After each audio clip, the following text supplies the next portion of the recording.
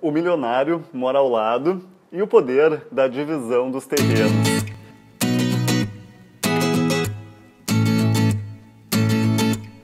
Olá, aqui é o Rafael Iante e no vídeo de hoje eu quero te contar melhor a história do vizinho do Anderson e da Bia. Sendo que essa história quem conta é o Anderson e ele nos contou essa história em um dos comentários aqui do canal, sendo que o vídeo que ele fez esse comentário era um vídeo onde eu explicava do poder que tinha a divisão de terrenos. De você comprar um terreno grande, de você comprar um terreno através de uma boa oportunidade e aí você divide esse terreno e consegue fazer excelentes negócios. E, no caso, o vizinho contou, o Anderson contou a história do vizinho e eu achei super legal e super inspiradora para mostrar para você e mostrar que isso é possível de ser feito. Então a história começa há cerca de 5 anos atrás, quando o vizinho do Anderson comprou um terreno que tinha 1.500 metros quadrados, ou seja, era um terreno grande e o o vizinho do Anderson comprou esse terreno através de uma excelente oportunidade, que no final do vídeo eu vou te explicar como que ele encontrou essa excelente oportunidade. Então fica comigo que lá no final eu te conto melhor como que ele encontrou esse negócio. Mas ele conseguiu comprar então esse terreno por 40 mil reais. 40 mil reais e aí ele dividiu esse terreno em duas partes. A primeira parte ele vendeu por 100 mil reais dois anos depois. Então olha que interessante. Comprou por 40 mil e vendeu a metade pelo valor de 100 mil reais. Com esse dinheiro, ele comprou uma casa em uma outra cidade. Show de bola! Então sobrou ainda uma metade de terreno que tinha 750 metros quadrados. Ele pegou essa metade de terreno e dividiu novamente em duas metades de 375 metros quadrados cada uma. Em uma metade, ele resolveu construir três casas.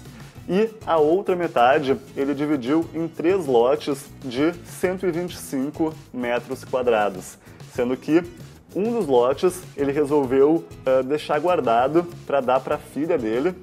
O segundo lote um vizinho do, do Anderson, um segundo vizinho do Anderson, comprou pelo valor de 40 mil reais e o terceiro lote o próprio Anderson comprou desse vizinho dele pelo valor de 40 mil reais. Então, olha que interessante. O vizinho do Anderson comprou um lote grande e fez várias divisões, sendo que nesse processo ele é, investiu apenas 40 mil reais e cinco anos depois ele já tinha um e cinco anos depois ele tinha um patrimônio ou ele tinha aí patrimônio imobiliário mais capital. Vamos lá, vamos somar tudo que ficou para ele. Ficou para ele um terreno de 375 metros quadrados que ele construiu três casas sobre esse terreno. Sobrou ainda é, um pedaço de terreno que tinha 125 metros quadrados que ele vai dar para a filha dele.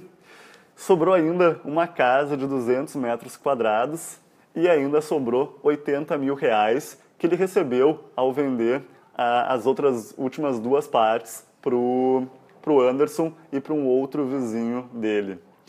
E aí, o Anderson diz no final do comentário que tem gente que diz ainda que investir em imóveis não vale a pena.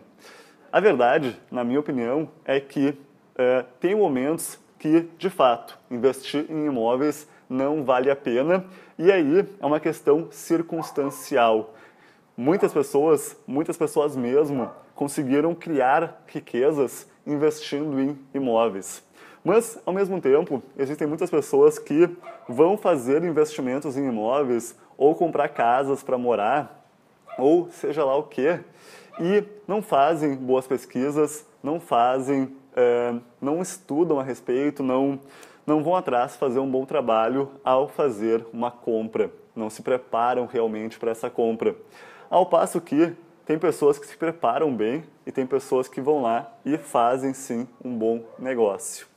Nesse caso do vizinho do, do Anderson, ele contou que ele, esse vizinho encontrou essa oportunidade através de um outro vizinho que sabia que aquele imóvel estava é, para vender.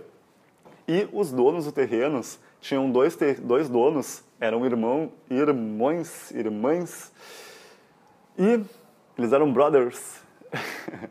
e o que acontece é que eles estavam com esse terreno abandonado, provavelmente tenha sido uma herança, mas esse terreno estava abandonado e esses dois irmãos eles estavam querendo uh, voltar para a terra natal deles e eles resolveram uh, baixar extremamente o valor do imóvel ou talvez eles nem sabiam quanto que o imóvel realmente valia e o que aconteceu é que eles aceitaram essa proposta e essa oferta que o vizinho do Anderson fez.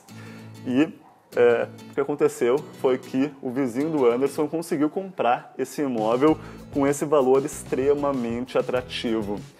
Provavelmente esse, esse terreno tinha um valor muito, mas muito maior.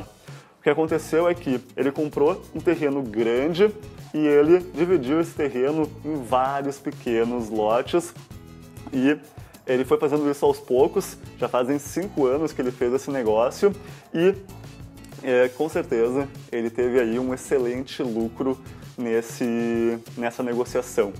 É claro que aqui, nesse vídeo, eu fui te mostrando conforme o Anderson foi nos contando. Mas, na minha opinião, esse foi um excelente negócio que o vizinho dele fez e uh, esse tipo de negócio você também pode fazer. Você precisa estar, primeiro, ciente de que esse tipo de oportunidade acontece. Você precisa abrir os olhos para poder enxergar esse tipo de oportunidade.